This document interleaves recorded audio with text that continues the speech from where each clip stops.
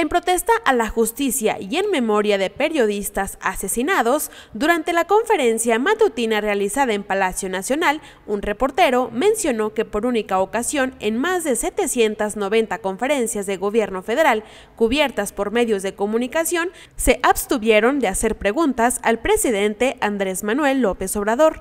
El reportero detalló que temen por su vida a realizar su labor, por ello piden que se garantice su seguridad.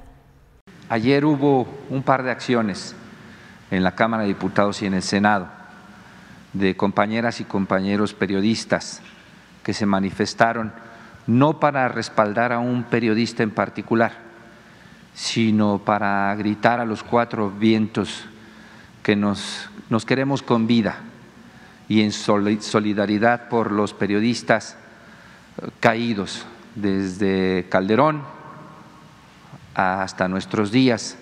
En función de ello, presidente, este, la mayoría de quienes estamos aquí platicando esto que sucedió ayer, eh, queremos, con todo respeto, decirle que este día no le queremos formular preguntas eh, en solidaridad con estas acciones que hizo el gremio periodístico en el Poder Legislativo el día de ayer. Queremos replicarlo. Si así deciden el resto de los compañeros que están aquí presentes, adelante, si no también están en su derecho.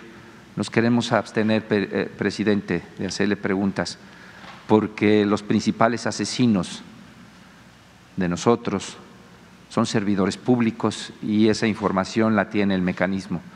Y por eso también estamos convocando a un encuentro nacional de periodistas en San Cristóbal de las Casas para el 5 de marzo, que usted dijo que Alejandro Encinas estaría presente. Por su parte, el presidente Andrés Manuel afirmó que no existe persecución alguna o indicación de atentar contra la vida del gremio periodístico en el país.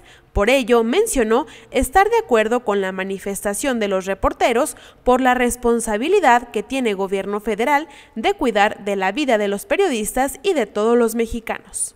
Yo estoy de acuerdo con lo que planteas, de que hay que eh, manifestarse y nuestro respeto y además es nuestra responsabilidad cuidar la vida de los periodistas y de todos los mexicanos y lo vamos a seguir haciendo.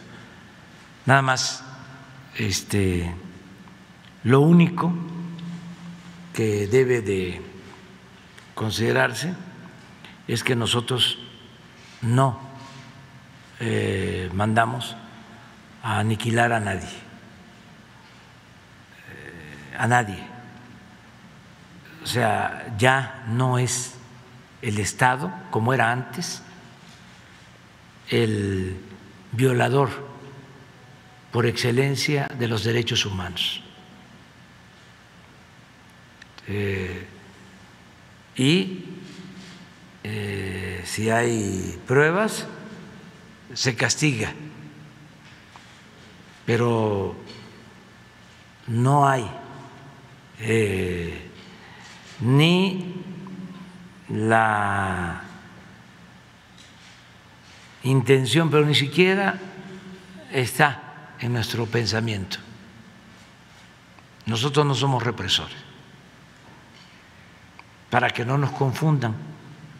Finalmente, se hizo un pase de lista de periodistas asesinados en México en lo que va del 2022, pues en dicho periodo han sido asesinados cinco periodistas, entre ellos Alfonso Margarito Martínez, José Luis Gamboa, Roberto Toledo y Lourdes Maldonado.